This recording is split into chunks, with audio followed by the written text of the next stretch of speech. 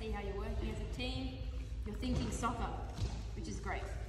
Uh, the second thing is I want you to thank your parents for bringing you every week in the middle of a Saturday morning when most people are trying to relax on the weekend and they bring you out every week. So make sure you thank your parents. If you can turn around right now, say thank you.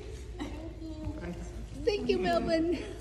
Thank you, Coach. I hope you guys have a great holiday. It'd be good to have a bit of a break from all this running around, especially as it gets hotter. Okay, so without further ado, when I call out your name, come and grab your certificate and grab your award from Coach Vince, and make sure to give a clap to your teammates as you hear their names. All right, first up is Andrew.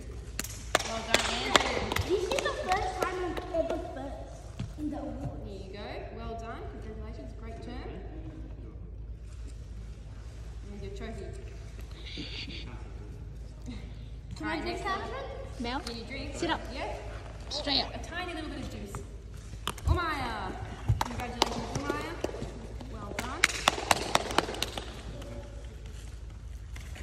Next up is Melbourne. Well done, Melbourne. Put properly. Great turn. And last but not least, Ardit. Well done. What do you suggest? Did you already broke it? Ada ada ada ada one. May I see it? Eh, look. Yeah. Great. Along with you, please.